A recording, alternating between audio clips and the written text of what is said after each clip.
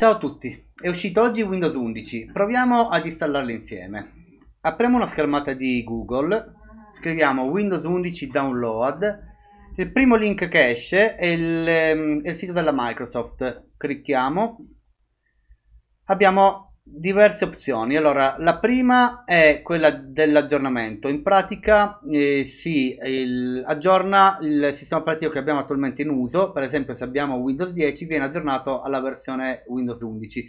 E con la conseguenza che non si perdono né i dati né i programmi, non si perde nulla, si installa e basta, come se fosse appunto un aggiornamento normale.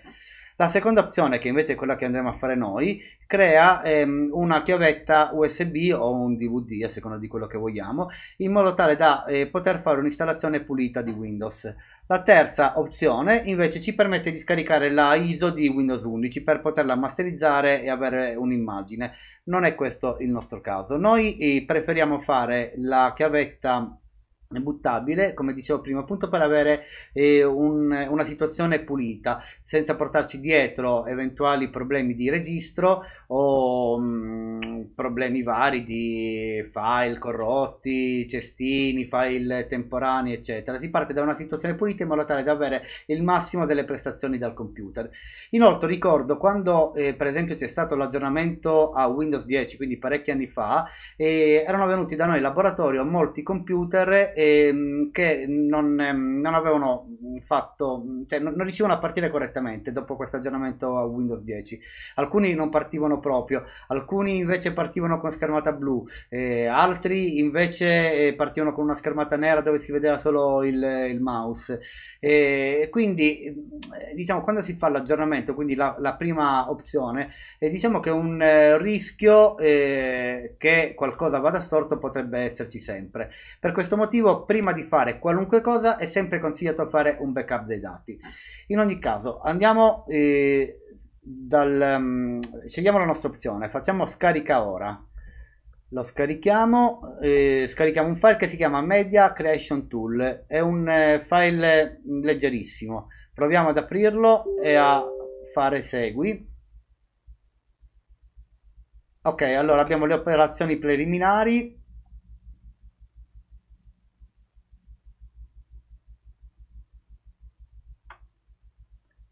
accetta.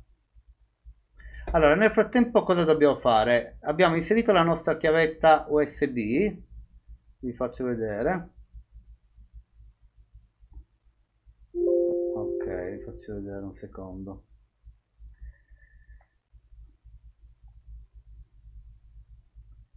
Abbiamo inserito la nostra chiavetta USB, dobbiamo fare tasto destro, formatta, la dobbiamo formattare in FAT32 diamo il nome che vogliamo, per esempio Windows 11, Windows 11, facciamo avvia. Ok, la chiavetta è stata formattata. Torniamo invece al tool di Windows 11. L'installazione di Windows 11 seleziona la lingua. E queste opzioni sono già eh, in automatico perché vengono prese dal nostro computer. Se io tolgo il baffo qui, vedete che ho la possibilità di eh, modificare la lingua e basta. Facciamo avanti. Diciamo che vogliamo creare l'unità flash usb avanti. Qui ci sarà l'elenco delle nostre unità rimovibili quindi le nostre chiavette usb in questo caso vedrà solo quella che ho appena messo quella che abbiamo chiamato prima windows 11 facciamo avanti. Vediamo un attimino cosa succede Ecco, sta iniziando a scaricare e a creare la chiavetta. A questo punto dovremo aspettare, e... non so, vediamo, credo un, una decina di minuti. Ci vediamo dopo.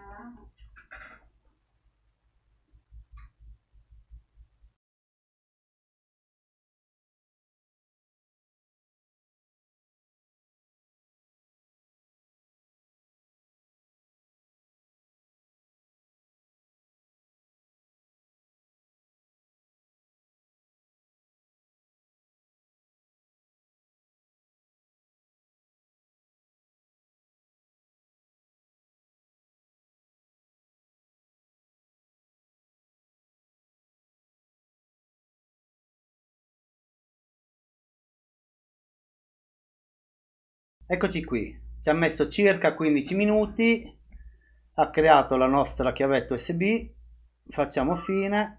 Adesso ci spostiamo sul computer per provare a fare l'installazione insieme. Andiamo. Inseriamo la nostra chiavetta usb sul computer. Questo qui è un computer hp dobbiamo fare il um, cambio di boot, nel senso che dobbiamo dire al computer che deve partire invece che con l'hard disk normale, deve partire dalla chiavetta. Su HP si fa premendo il tasto di accensione e premendo il tasto F9. Ci spostiamo con le frecce e in questo caso scegliamo la nostra chiavetta USB.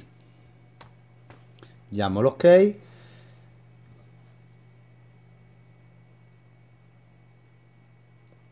e aspettiamo.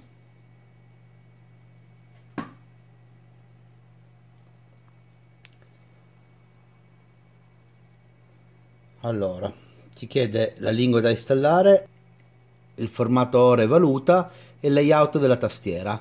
Noi facciamo avanti. Installa.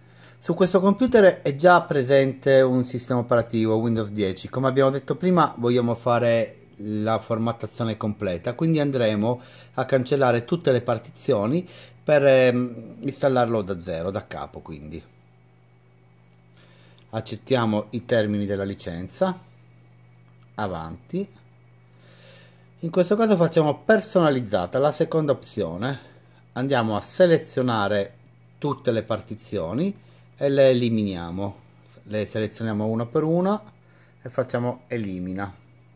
Successivamente ok. Elimina. Ok. Elimina. Ok. Fino a quando non abbiamo uno spazio non allocato della dimensione del nostro disk. Facciamo avanti e aspettiamo che copia essendo un SSD dovrebbe essere abbastanza veloce.